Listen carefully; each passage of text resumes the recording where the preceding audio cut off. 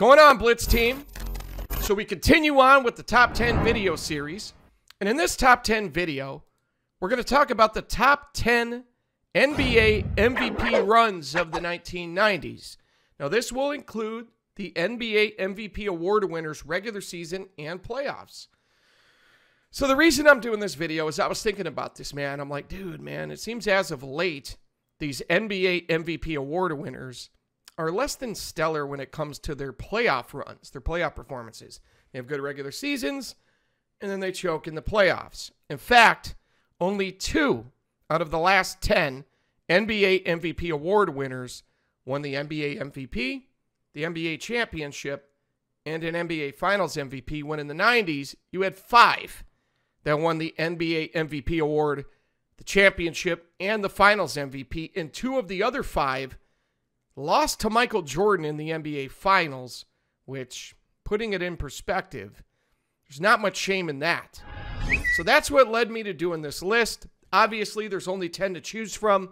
So we're basically just ranking the 10 NBA MVP award winners for each season. And this includes their playoff runs. That's the whole point of this video. So let's get to it.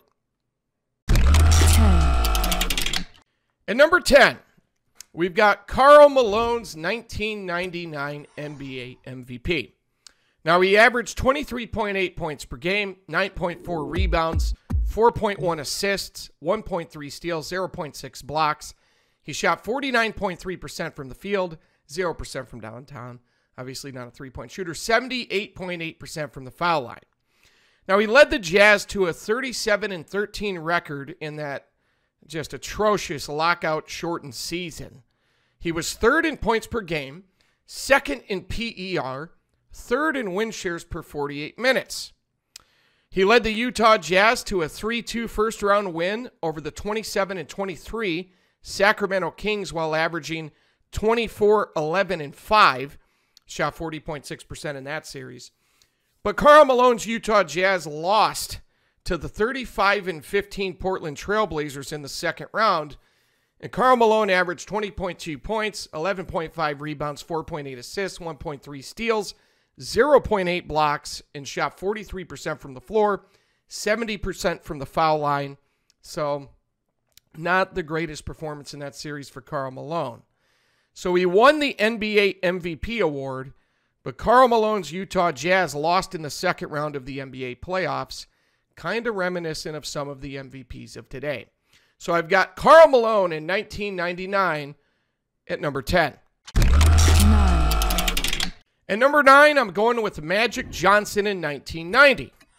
Now, that year, Magic Johnson averaged 22.3 points per game, 6.6 rebounds, 11.5 assists, 1.7 steals, 0.4 blocks, he shot 48% from the floor, 38.4% from downtown, and 89% from the foul line. Magic led the Lakers to 63 wins. He won the All Star MVP. He was second in assists per game behind John Stockton, fourth in PER, second in win shares per 48 minutes, and he led the Lakers to a first round playoff win over the 41 win Rockets while averaging 19.7 rebounds, 13.5 assists, of 47.4% shooting, 25% from downtown, 82.6% from the foul line. But Magic's Lakers lost in the second round to the 54 win Suns, with Magic averaging 30.2 points, 5.8 rebounds, 12.2 assists on 50% shooting, only 15.4% from downtown, 91.1% from the foul line. So Magic won the MVP that year in a hotly contested MVP race by a slim margin over Charles Barkley and Michael Jordan. But Magic Johnson's Lakers were eliminated in the second round. So I've got to put Magic Johnson's 1990 MVP run at number nine. At number eight, I'm going with David Robinson in 1995. Now, you want to talk about a freak athlete. David Robinson was a freak athlete, man, both sides of the court. Now, that year, he averaged 27.6 points per game, 10.8 rebounds, 2.9 assists, 1.7 steals, and 3.2 blocks. He shot 53% from the floor, 30% from downtown, 77.4% from the foul line. He led the Spurs to 62 wins. He was fourth in DPOY voting. He was third in points per game, seventh in rebounds per game, fourth in blocks per game. He was number one in PER, number one in win shares per 48 minutes. Now, he led the Spurs to a 3 0 first round sweep over the 41 win Denver Nuggets while averaging 19 points, 6.7 rebounds, 3.3 assists, two steals, 1.3 blocks. He shot 42.9% from the floor and 75% from the foul line. In the second round, he led the Spurs to a 4 2 win over the 48 win Los Angeles Lakers while averaging 30 points, 15.7 rebounds, 3.5 assists, 1.2 steals, 3.7 blocks, shot 45.1% from the floor, 50% from downtown, and 87.9% from the foul line. And then David Robinson Spurs lost to the Houston Rockets 4 2 in the Western Conference Finals. Robinson averaged 23.8 points per game, 11.3 rebounds, 2.7 assists, 1.5 steals, 2.2 blocks. He shot 44.9% from the floor, but Hakeem Olajuwon, 35.3 points, 12.5 rebounds, 5 assists, 1.3 steals, 4.2 blocks. He shot 56% from the floor, 50% from downtown, and 80.6% from the foul line. So David Robinson won the regular season NBA MVP award, but got smoked in the Western Conference Finals by Hakeem Olajuwon. So I've got to put David Robinson's 1995 run at number eight. Seven. Number seven, Karl Malone in 1997. Now, Karl Malone averaged 27.4 points per game, 9.9 rebounds, 4.5 assists, 1.4 steals, 0.6 blocks. He averaged shooting 55% from the floor, 75.5% from the foul line. Now, Malone led the Utah Jazz to 64 wins. He was second in points per game, first in PER, second in win shares per 48 minutes. And in the playoffs, he led the Jazz to a 3 0 first round win over the 36 win Los Angeles Clippers while averaging 30.7 points, 11.3 rebounds, 2.0 assists, 1.3 steals, and 1.0 blocks on 48.5% shooting and 74.3% shooting from the foul line.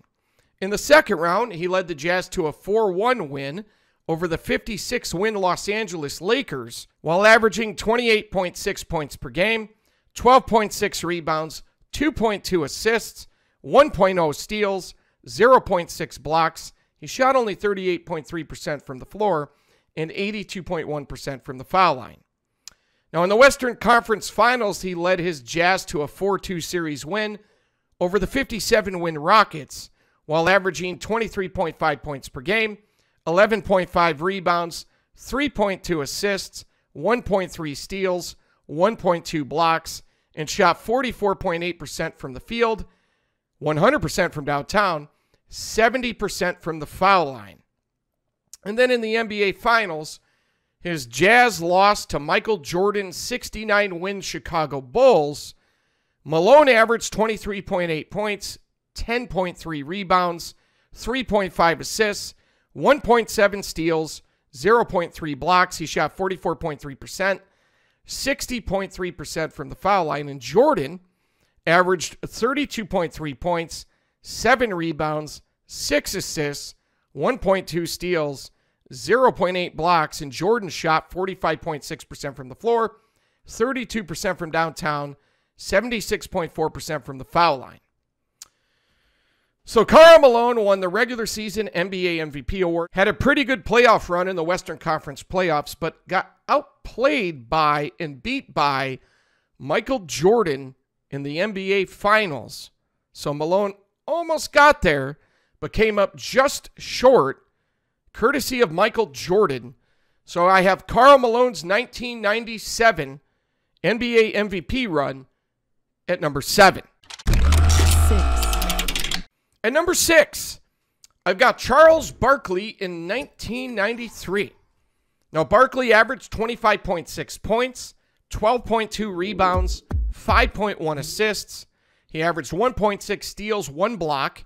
He shot 52% from the floor, 30.5% from downtown, and 76.5% from the free throw line. He led the Suns to 62 wins. He was fifth in points per game, sixth in rebounds per game, fourth in player efficiency rating, second in win shares per 48 minutes. And in the playoffs, in the first round, he led the Suns to a 3 2 series win over the 39 win Lakers while averaging 27.6 points, 14.4 rebounds, 4.2 assists, 1.8 steals, 1.6 blocks. He shot 47.7% from the floor, 28.6% from downtown, and 73.9% from the free throw line. In the second round, he led the Suns to a 4 2 series win over the 49 win San Antonio Spurs while averaging 26.2 points, 13.2 rebounds, 3.3 assists, 2.2 steals, 1.5 blocks. He shot 45% from the floor, 28.6% from downtown, and 76.3% from the foul line. Very exciting series. Now, in the Western Conference Finals, he led them to a 4 3 series win over the 55 win Seattle Supersonics while averaging 25.6 points, 13.9 rebounds, 4 assists, 1.4 steals, 1 block. He shot 50.4% from the floor, 12.5% from the three point line, and 82.5% from the free throw line. And then came the NBA Finals, very memorable NBA Finals. Charles Barkley's Phoenix Suns lost to Michael Jordan's 57 win Chicago Bulls 4 2 in the finals. Now, Chuck averaged 27.3 points, 13 rebounds, 5.5 assists, 1.2 steals, 0.5 blocks. He shot 47.6% from the floor, 25% from downtown, and 75% from the free throw line. Jordan averaged 41 points, 8.5 rebounds, 6.3 assists, 1.7 steals, 0.7 blocks, and he shot 50.8% from the field, 40% from downtown, 69.4% from the foul line. So Chuck had a great run, man. He won the NBA MVP award over Jordan and he led the Phoenix Suns to the NBA Finals, but lost in the NBA Finals to Michael Jordan's Bulls. Michael Jordan won the NBA Finals MVP and outplayed him. Michael Jordan definitely made a statement, which became a theme of the 90s. If he didn't win the NBA MVP, he beat you in the finals. In five out of six NBA Finals appearances, Jordan beat the NBA MVP award winner or the runner up to his NBA MVP award, and this would be the case here. But still a great run, and I've got Charles Barkley from 1993 at number six. Five. At number five, Michael Jordan in 1998. Now, Jordan averaged 28.7 points, 5.8 rebounds, 3.5 assists, 1.7 steals, 0.5 blocks, and shot 46.5% from the floor, 23.8% from downtown, and 78.4% from the foul line. One thing to remember about Michael Jordan's stats in the triangle offense, he sacrificed his numbers to finish plays to be the scorer. So when you look at his assists, you always got to look at the system he was playing in. You know, outside of that system, he was an assist machine. Now, Jordan led the Bulls to 62 wins. He won the All Star MVP.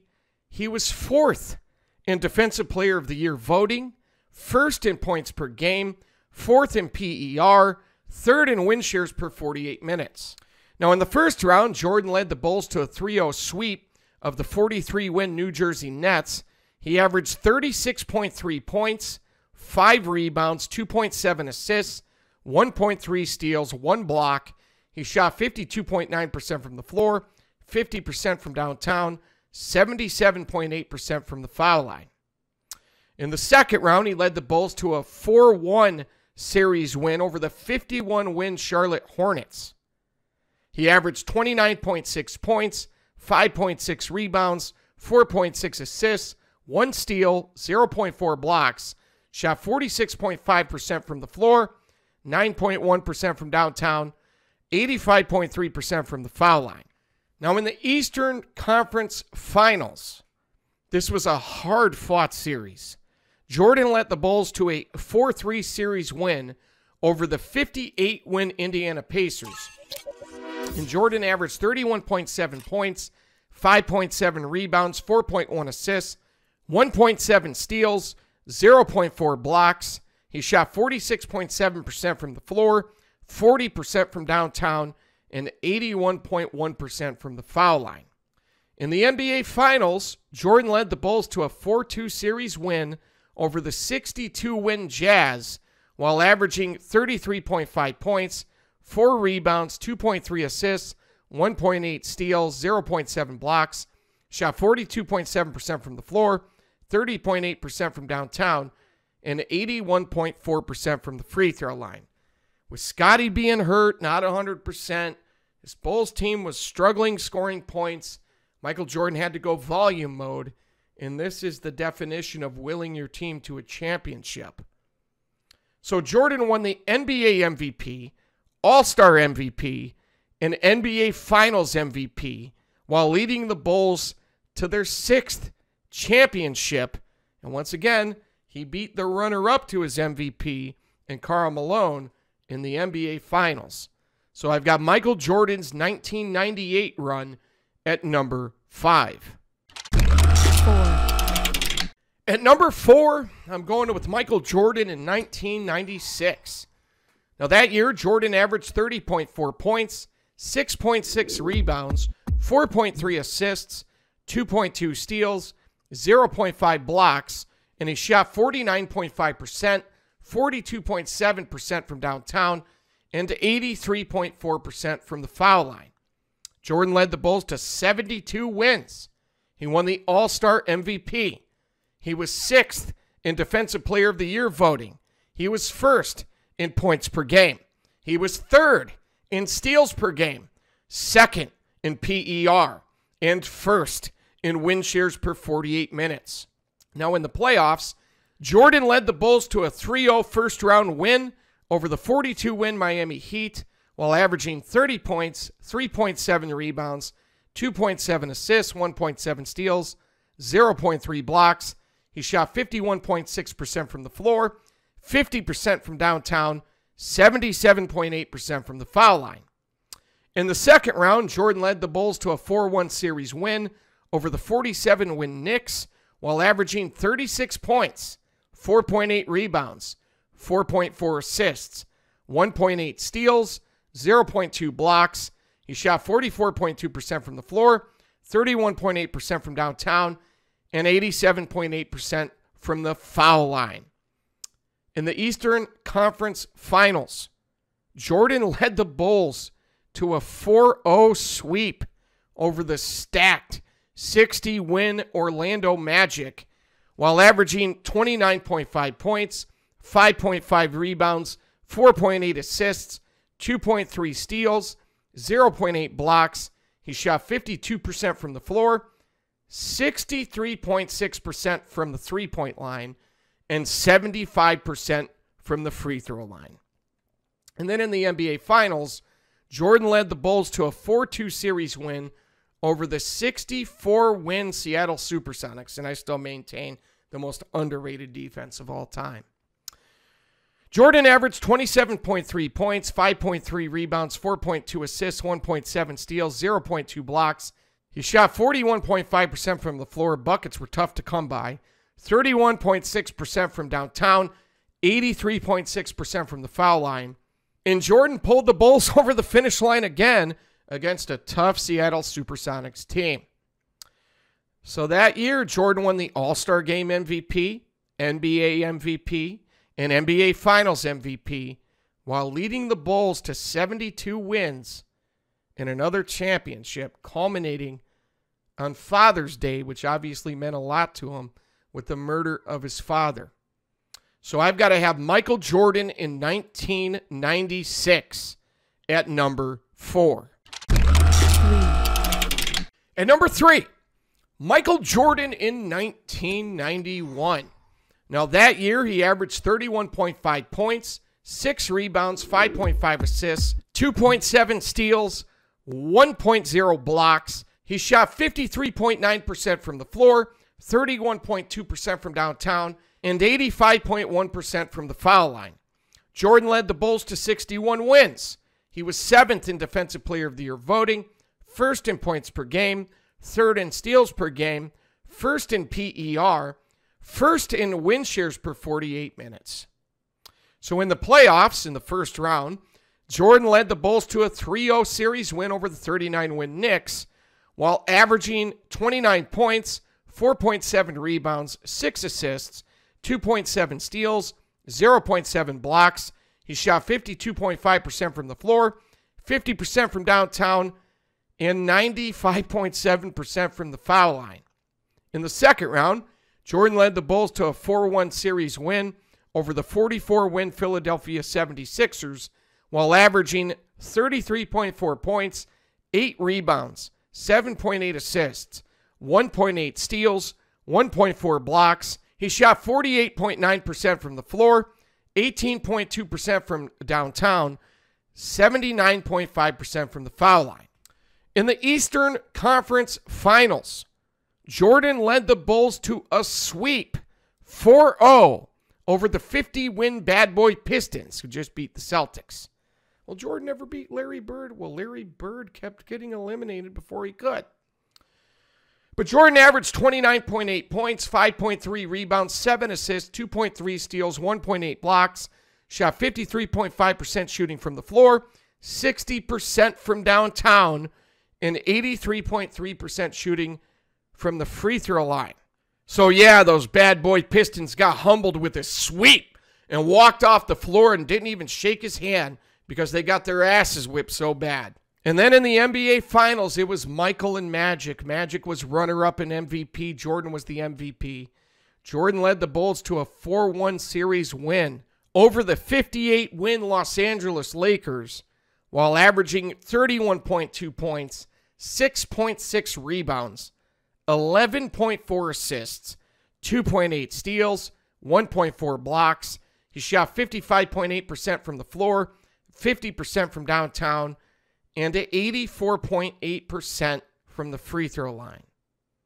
So that year, Jordan won the NBA MVP award by a large margin over Magic Johnson, and he led the Bulls to their first championship over runner up MVP Magic Johnson and his Los Angeles Lakers in the NBA Finals while also winning the NBA Finals MVP award. So I've got Michael Jordan in 1991 at number three. Two. At number two, I've got Hakeem the Dream Olajuwon in 1994. Now, that season, Hakeem averaged 27.3 points, 11.9 rebounds, 3.6 assists, 1.6 steals, and 3.7 blocks. He shot 52.8% from the floor, 42.1% from downtown, and 71.6% from the foul line. Hakeem led the Rockets to 58 wins. He also won the NBA Defensive Player of the Year award. He was third in points per game, fourth in rebounds per game, second in blocks per game, third in player efficiency rating, and seventh in win shares per 48 minutes. In the first round of the NBA playoffs, Hakeem led the Rockets to a 3 1 series win over the 47 win Blazers while averaging 34 points, 11 rebounds, 4.8 assists, 2.3 steals, 3.8 blocks. He shot 50% from the floor, 50% from downtown, and 76.7% from the foul line. In the second round, he led the Rockets to a 4 3 series win over the 56 win Suns while averaging 28.7 points, 13.6 rebounds, 4.6 assists, 1 steal, 3.9 blocks. He shot 56.3% from the floor and 72.4% from the foul line. Now, in the Western Conference Finals, he led the Rockets to a 4 1 series win over the 53 win Jazz while averaging 27.8 points, 10.2 rebounds, 4.4 assists, 2.6 steals, 4.6 blocks. He shot 50% from the floor and 80.4% from the foul line. And in the NBA Finals, he led the Rockets to a tough fought 4 3 series win over the tough 57 win Knicks while averaging 26.9 points, 9.1 rebounds, 3.6 assists, 1.6 steals, 3.9 blocks. He shot 50% from the floor, 100% from downtown, and 86% from the free throw line. So, yeah, man, in 1994, Hakeem won the NBA MVP award, the Defensive Player of the Year award, and the NBA Finals MVP, the trifecta. So I've got to have Hakeem Olajuwon in 1994 at number two. Oh. And then at number one, Michael Jordan in 1992. Jordan averaged 30.1 points, 6.4 rebounds, 6.1 assists, 2.3 steals, 0.9 blocks, and he shot 51.9% from the floor, 27% from downtown, and 83.2% from the foul line. Jordan led the Bulls to 67 wins. He was third in Defensive Player of the Year voting, first in points per game, sixth in steals per game, first in player efficiency rating, and first in win shares per 48 minutes.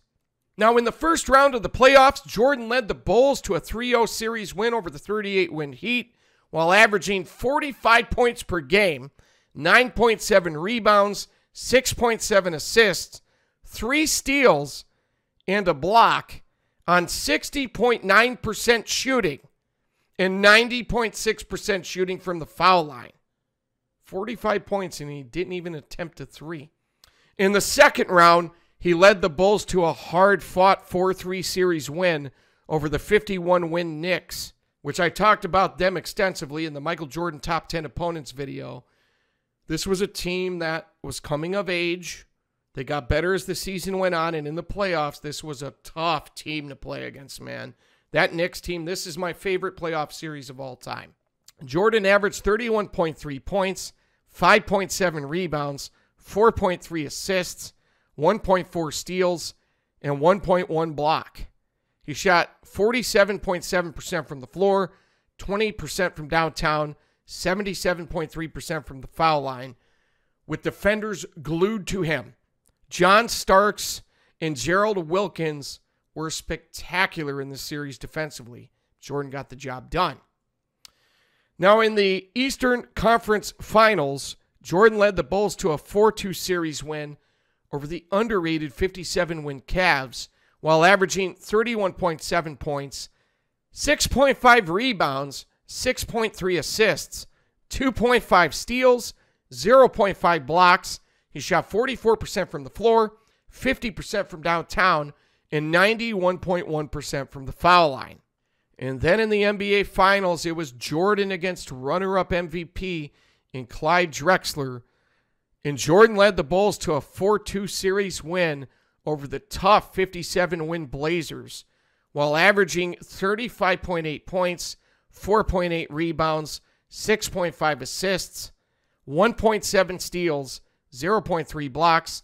He shot 52.6% from the floor, 42.9% from downtown, and 89.1% from the foul line. So Jordan won the NBA MVP award over Clyde Drexler, and there was a lot of debate that year, but in the NBA Finals, he thoroughly outplayed him and shut him down. I mean, he shut Clyde down, just completely took him out of his game. So Jordan led the Bulls to that championship win over Clyde Drexler's Blazers, got the NBA Finals MVP, and the regular season NBA MVP. The 1992 run by Michael Jordan was ridiculous, and that's why I have it at number one. So again, at number 10, I've got Karl Malone in 1999. At number 9, I've got Magic Johnson in 1990. At number eight, I've got David Robinson in 1995. At number seven, I've got Karl Malone in 1997. At number six, I've got Charles Barkley in 1993. At number five, I've got Michael Jordan in 1998. At number four, I've got Michael Jordan in 1996. At number three, I've got Michael Jordan in 1991. At number two, I've got Hakeem Olajuwon in 1994. And at number one, I've got Michael Jordan in 1992. And I would contend that, in my opinion, in 90, 93, and 97, those should have been Jordan's MVPs. So, man, the 1990s was an amazing era in the NBA. You had so many legends and so many great teams, so many tough and physical NBA playoff series. It was a great era of basketball. A lot of these games started to really feel like a street fight. It was the no boys allowed league. That's what NBA used to stand for. No boys allowed. That's what we all used to say. You had all these players, man, who were so competitive with such a big chip on their shoulder, and they dared you to knock it off. And there was one guy who consistently knocked that chip off the shoulder of all these tough NBA players in the 90s, and it was Michael Jordan. And do you know why Michael Jordan did that? Because Michael Jordan was a winner. So there you go, Blitz team. I hope you enjoyed this top 10 video. Some great players there. What an era. I don't think we'll ever see an era like that again. It was so competitive and so much fun to watch. So I got to go. Hope you enjoyed the video, and I'll talk to you again soon.